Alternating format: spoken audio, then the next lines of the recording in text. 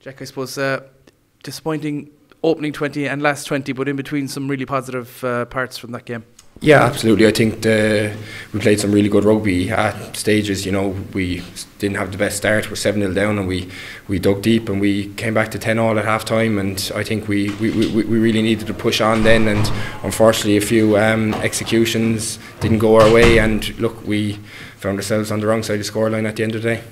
In that last 20, why was it, I suppose, how, why, how did you find it so difficult to get possession and territory? Really, Edinburgh really put in a good performance in that last 20.